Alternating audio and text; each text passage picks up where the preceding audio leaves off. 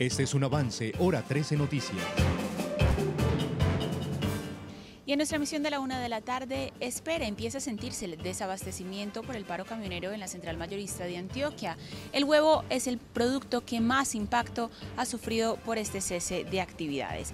Es crítica la situación de seguridad del líder social Fernando Quijano y su familia. Le asegura que las amenazas contra su vida han incrementado sustancialmente en los últimos días. Además, un proyecto de vivienda en el barrio El Poblado fue construido hace 18 años y aunque fueron prometidas tres torres, solo se construyeron dos. Aún así, los propietarios tienen que pagar el costo de administración y los impuestos hasta por los apartamentos que nunca se construyeron. La ampliación de estos y otros hechos en nuestra emisión de la una de la tarde en Hora 13 Noticias, cubrimiento total. Hasta aquí, un avance de Hora 13 Noticias.